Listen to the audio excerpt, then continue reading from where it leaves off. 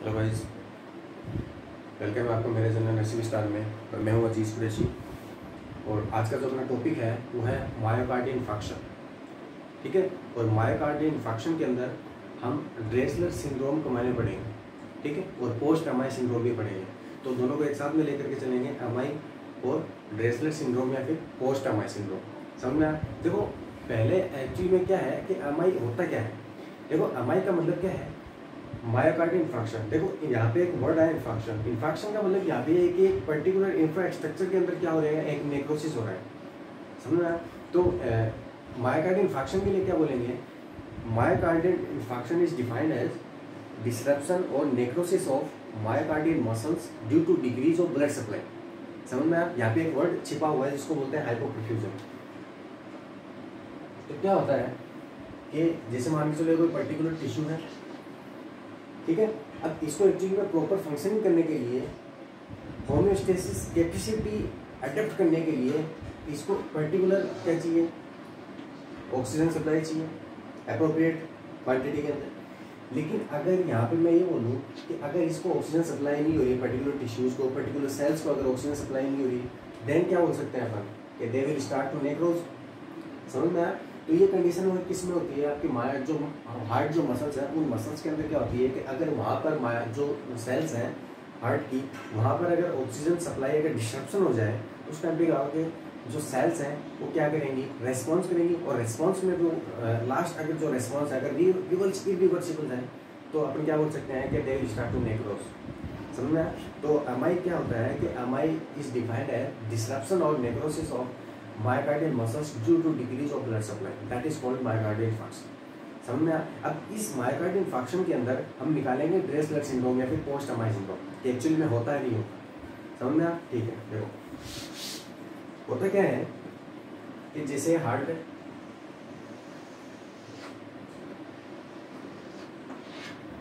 ये हार्ट है और हार्ट को एक्चुअली में जो ब्लड सप्लाई करती है, वो करती है कोरोनरी आर्टरी ठीक है? लाइक अदर ऑर्गन्स जैसे किडनी है तो किडनी को ब्लड सप्लाई करती है विनल आर्टरी ठीक है? डायफ्राम है तो डायफ्राम इंफीरियर फ्रेनिक आर्टरी और जो हार्ट है हार्ट को करती है आपकी कोरोनरी आर्टरी तो यहाँ पे मैं बोल सकता हूँ कि एक्चुअली में जो हार्ट है, उस हार्ट को ब्लड सप्लाई जो आर्टरीज करती है, वो होती है आपकी कोरोनरी आर्टरी ठीक है? जैसे मान चलो ये कोरोनरी आर्टरी है और ये कोरोनरी आर्टरी क्या करती है? कि जो टिश्यूज हैं, जो मसल्स हैं हार्ट की, उसको ब्लड सप्लाई करने का काम कर रही है।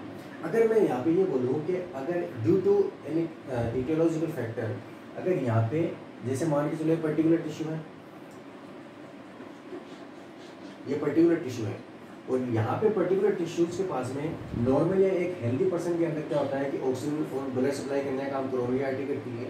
ठीक है? अब due to any ecological factor और मोस्ट कॉमन जो फैक्टर uh, होता है यहाँ पे हमारी का वो होता है एथेरोस्क्लेरोसिस ठीक है? तो क्या होता है कि जैसे मान के चलो यहाँ पे कोरोनरी आर्टरी है, कोरोनरी आर्टरी यहाँ पे क्या हो गई? ऑस्टेक हो गई।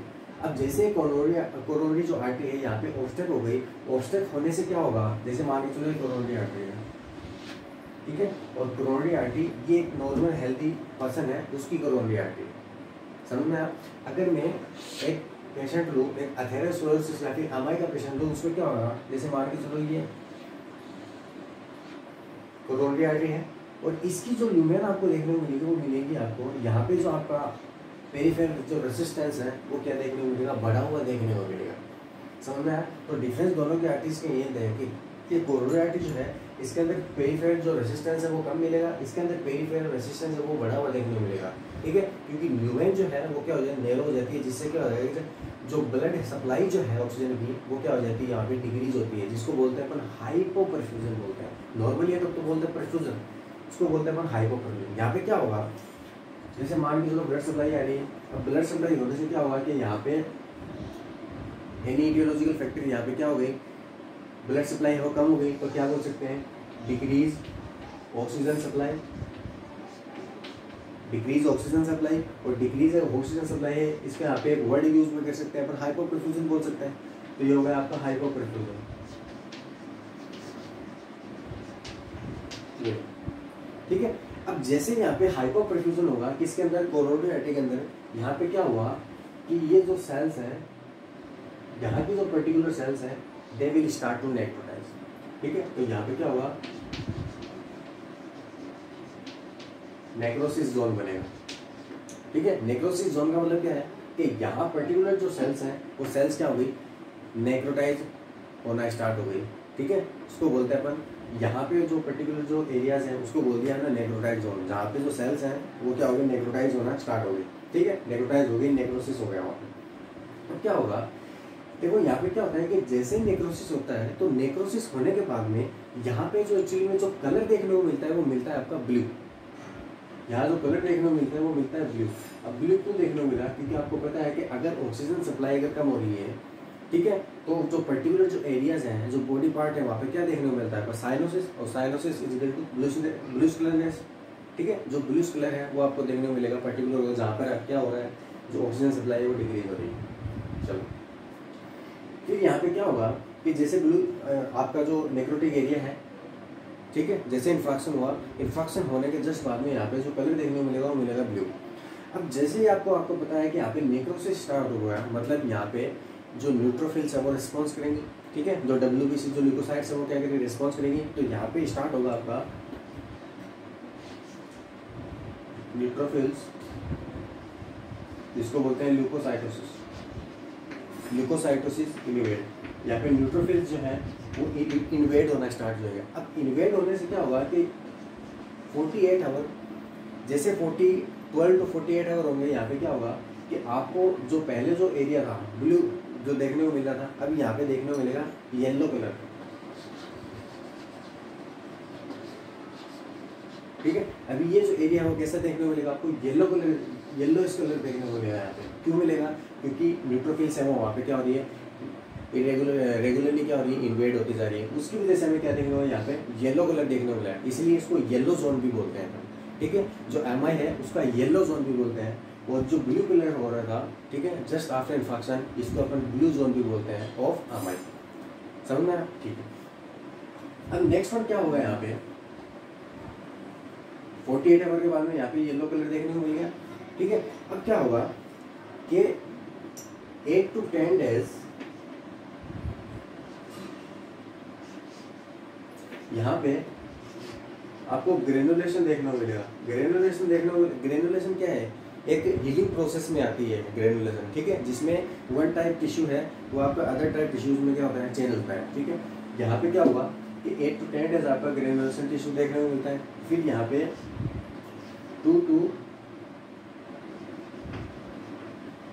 थ्री मंथ में आपको स्कार देखने को मिलेगा, ठीक है? यहाँ पे स्कार स्कार का मतलब जानते हो? जैसे मान के चलो, कट गई ठीक है? कट लगने के बाद में जहाँ पर वो हीलिंग हुई थी, वहाँ पे एक आपको मार्क देखने को मिलेगा। ठीक है? प्रीवियस जो इंजरी हुई थी, उसका मार्क आपको देखने को मिलेगा। उसको बोलते हैं अपन स्कार तो यहाँ पे टू टू थ्री मंथ में आपको क्या देखने को स्कार देखने को मिलेगा। और स्कार जो है may be change in shape और साइज़ समझ में आया? तो क्या हुआ कि जैसे नेक्रोसिस हो गया नेक्रोसिस होने के बाद में क्या हुआ कि सॉरी जैसे ब्लड सप्लाई कम हुई, जो कोरोनरी आर्टरी है तो क्या हो गई ऑस्ट्रेक हो गई। ऑस्ट्रेक होने के आगे ऑक्सीजन सप्लाई है वो क्या हो गई? डिक्रीज हो गई, वहाँ पे हाइपो परफ्यूजन की कंडीशन आ गई। और हाइपो परफ्यूजन की अगर कंडीशन आ गई तो वहाँ पे क्या देखना वहाँ पर नेक्रोटाइज जो सेल्स हैं, वहाँ पे नेक्रोटाइज नेक्रोटाइजेशन देखने को मिलेगा। और नेक्रोटाइजेशन आपको अगर देखने को मिलेगा तो जो पर्टिकुलर जो एरिया था, उसको बोल दिया हमने नेक्रोटाइटिक जोन ठीक है? फिर वहाँ से क्या होगा कि जैसे ही आपका इन्फेक्शन हुआ इन्फेक्शन होने से क्या होगा? वहाँ पे क्या देखने को आपका? ब्लू कलर देखने को मिलेगा। ठीक है? और ब्लू कलर बाद में क्या होगा कि वहाँ पे ल्यूकोसाइटोसिस जो है या अपन बोल सकते हैं न्यूट्रोफिल से वो इन्वेट होना स्टार्ट क्योंकि फ़र्स्ट रेस्पॉन्स किसका होता है? न्यूट्रोफिल्स का होता है। अब जैसे न्यूट्रोफिल से वो इन्वेट कर रही है तो वहाँ पे क्या होगा कि आपको वहाँ का जो कलर है, जो पहले ब्लू था, वो कैसे देखने को मिलेगा? येलो कलर आपको देखने को मिलेगा। समझ? फिर यहाँ पे क्या होगा कि eight to ten days ten days after वहाँ पे आपको ग्रेनुलेशन जो टिश्यूज हैं वो देखने को मिलेंगे, ठीक है? और वहाँ पे अगर after two two three month अगर प्रोग्रेसिव है तो आपको क्या देखने को कि स्कार फॉर्मेशन आपको देखने को मिलेगी। और स्कार जो है, वो may be change in size and shape ठीक है? तो ये था अपना एमआई अब देखना, अगर मैं टाइप की बात करूँ, अगर मैं टाइप की बात करूँ माइक तो मोस्टली एम जो है वो टू टाइप से डिवाइड कर रखा है। मोस्टली जो एम है, वो टू टाइप से डिफाइन कर रखा है। फ़र्स्ट वन जो है एच टी एलियट दूसरा जो है वो है नॉन एच टी एलियट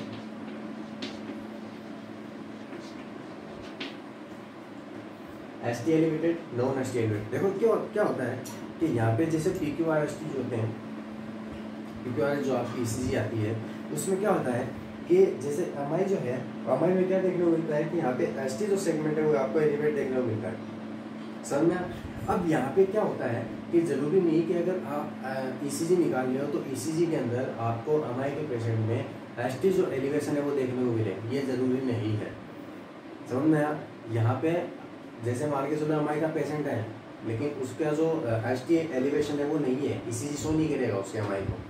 ठीक है? तो इस टाइप का जो होता है, वो होता है आपका non H T elevated M ठीक है? अगर जी में अगर शो हो गया कि एच टी एलिवेशन है तो आपको पता है कन्फर्म लग जाएगा ये पेशेंट को क्या है?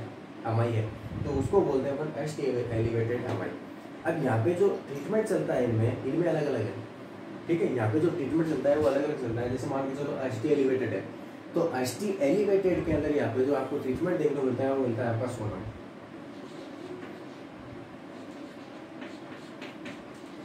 यहाँ पे जो ट्रीटमेंट देखने को मिलता है वो मिलता है सोनम सोनम का मतलब एस का मतलब streptokinase streptokinase oxygen nitroglycerin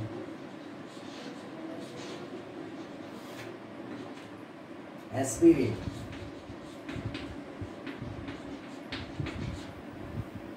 और हम का मतलब मॉर्फिन ठीक है तो एस टी एलिवेटेड है, उसके अंदर जो मेडिकेशन चलती है, वो आपके जो ट्रीटमेंट चलता है, वो चलता है सोनम, ठीक है? और यहाँ चलता है, वो चलता है आपका मोना मतलब मॉर्फिन ऑक्सीजन नाइट्रोग्लिसरीन और एस्पिरिन यहाँ पे जो एमआई है, उसकी जो ड्रग ऑफ़ चॉइस है, वो आपकी है मॉर्फिन मॉर्फिन जो है, वो क्या है? ड्रग ऑफ़ चॉइस है किसकी? एमआई की। लेकिन जो एमआई जो मॉर्फिन है, वो कॉन्ट्रा इंडिकेटेड है किसके अंदर? पेनक्रियाटिक के के अंदर। ठीक है? पेनक्रियाटाइटिस जो है, उसके पेशेंट में मॉर्फिन जो है, वो क्या है? कॉन्ट्रा इंडिकेटेड है। और जो मॉर्फिन है, उसका जो एंटीडोट है, वो है नेलेक्सोन ठीक है? इसका जो एंटीडोट है, वो है नेलेक्सोन अब देखना। अब अपन बात करते हैं डायग्नोसिस चलो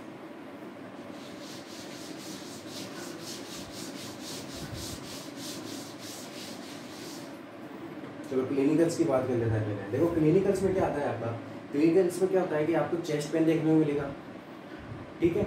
और जो प्रेसिंग पेन जो होता है, उस टाइप का होगा वो। और यहाँ पे जो पेन है वो रेडिएट हो सकता है आपका लेफ़्ट आर्म में। समझ में आप ठीक है। अब देखना डायग्नोसिस की अगर मैं बात करूँ।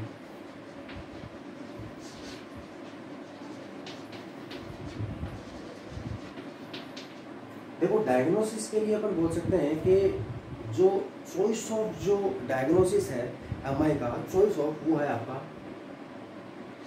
प्रोपरली लाइन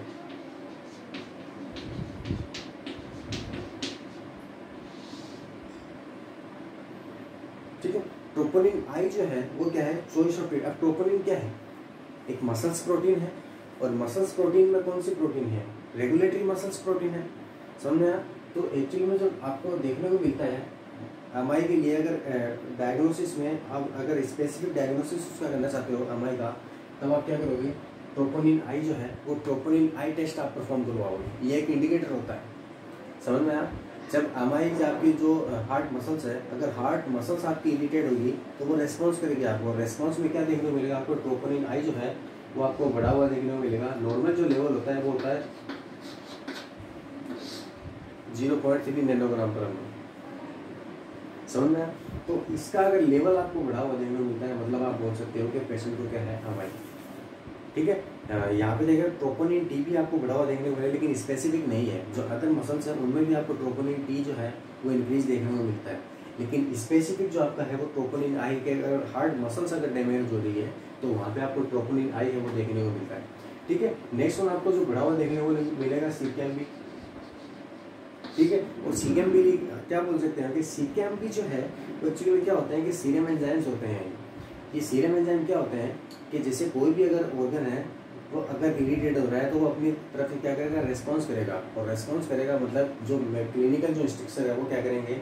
उस रेस्पॉन्स को क्या करेंगे? अडोप्ट करेंगे आइडेंटिफाई करेंगे।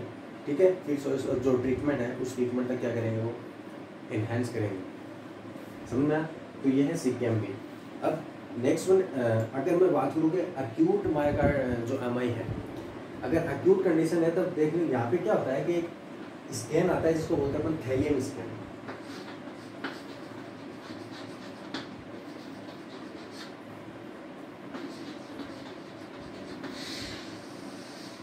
थैलियम स्कैन देखो, थैलियम स्कैन का मतलब क्या होता है? एक यहाँ पे रेडियो एक्टिव सिस्टामिक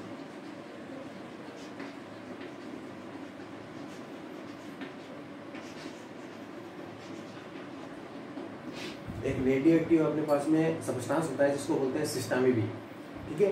ये सिस्टामी भी क्या होता है कि जो पेशेंट है, उसके जो ब्लड वेसल्स है, उस ब्लड वेसल्स के अंदर यहाँ पे जो सिस्टामी भी रेडियो रेडियो एक्टिव जो है, उसको क्या कर दिया जाता है? इन्फ्यूज़ कर दिया जाता है। अब एक्चुअली में ये जो सिस्टामी भी जो है, वो क्या करता है आपका? जैसे जो बसें वगैरह होती हैं, ठीक है? इसके अंदर क्या होता है पर? जैसे तो बोलते हैं इंड्यूसर समझ में तो ये सिस्टम भी क्या करता है कि जैसे ब्लड के अंदर इन्फ्यूज़ करा दें इन्फ्यूज़ कराने से क्या होगा कि जो ब्लड सर्कुलेशन है हार्ट मसल्स को कितनी ब्लड सप्लाई हो रही है, उसको असेस करेगा ये। समझ में आया? तो ये जो है, इस स्कैन को बोलते हैं अपन थेलियम स्कैन ठीक है? और अगर जो टेस्ट होता है अगर मैं हार्ट मसल्स की अगर फ़ंक्शन की बात करूँ कि एक्चुअली में हार्ट मसल्स कितनी फ़ंक्शन कर रही है? तो उसके लिए आपका है स्ट्रेस टेस्ट ठीक है? और स्ट्रेस टेस्ट जो है, उसका दूसरा नाम है ट्रेडमिल टेस्ट इसको ट्रेडमिल टेस्ट भी बोलते हैं। स्ट्रेस टेस्ट और ट्रेडमिल टेस्ट भी बोलते हैं। इसमें क्या होता है कि जो हार्ट है ना, उस हार्ट की एक्चुअली में फंक्शनिंग कैसी हो रही है? उस फंक्शनिंग को स्कैन करते हैं किसके अंदर जो टेस्ट आता है, उसके लिए परफॉर्म करते हैं। हार्ट फंक्शनिंग के लिए वो करते हैं अपन स्ट्रेस टेस्ट और क्रिएटिविटी टेस्ट अपन क्या करते हैं? परफॉर्म करते हैं। समझना तो यह था जो, अगर लास्ट में अपन देखें तो जैसे ब्रेसलेट सिंड्रोम मैंने बताया था आपको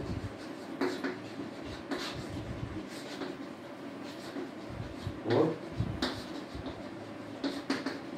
post MI syndrome Dressler syndrome और पोस्ट एमआई सिंड्रोम एक्चुअली में होते क्या है? तो देखना क्या होता है यहाँ पे?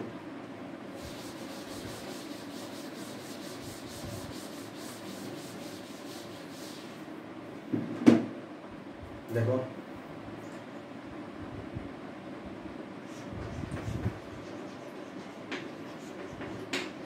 Chest pain plus endocarditis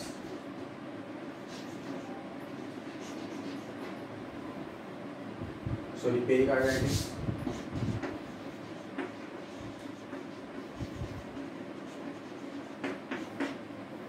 plus leukocytosis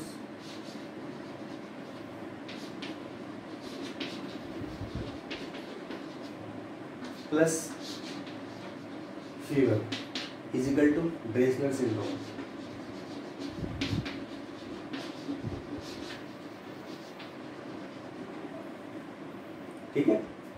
बोलते हैं ड्रेसलर सिंड्रोम। और ड्रेसलर सिंड्रोम जो है, इसको पोस्ट एमआई सिंड्रोम बोलते हैं। पोस्ट एमआई सिंड्रोम देखो क्रियोटिक चेस्ट पेन चेस्ट पेन हो रहा था हमारे वाले पेशेंट को। हो रहा था? ठीक है। पेरिकार्डाइटिस हो रहा है, क्योंकि इन्फ्लामेशन हो रहा है। समझ में आया? अब इन्फ्लामेशन के अंदर अब क्या देखते हैं कि इन्फ्लामेशन अगर हो रहा है तो मतलब जो कार्डिक जो मसल्स हैं, वो मसल्स का इन्फ्लामेशन हो रहा है। ठीक है? उसको अपन क्या बोल दिया? जैसे पेरिकार्डाइटिस हो गया। ठीक है? ल्यूकोसाइटोसिस ल्यूकोसाइटोसिस हो रहा था वहाँ पे। देखो वहाँ पे येलो जो येलो जोन बना था, कब बना था? कि फोर्टी एट आवर हो गए थे, ठीक है? वहाँ पे न्यूट्रोफिल्स है वो इन्वेड हो रही थी, ठीक है? उस कंडीशन क्या बोलते हैं? ल्यूकोसाइटोसिस ठीक है? प्लस में क्या देखने को मिलेगा आपको? अगर इन्फ्लामेशन हो रहा है, ठीक है? और इन्फ्लामेशन अगर हो रहा है वहाँ पे तो वहाँ पे इन्फेक्शन भी हो रखा है, ठीक है? अब मे भी इन्फ्लामेशन इन्फेक्शन की वजह से क्या हुआ? है वहाँ पे मे भी आपको फीवर देखने को मिलेगा पेशेंट में, ठीक है? तो ये जो चीज़ें हैं मायाकार्डिन जो इन्फेक्शन है, उसके अंदर आपको क्या देखने को मिलती है? ये सारी जो कंडीशन है वो आपको देखने को मिलेगी और इसको कंबाइंड में क्या बोलते हैं?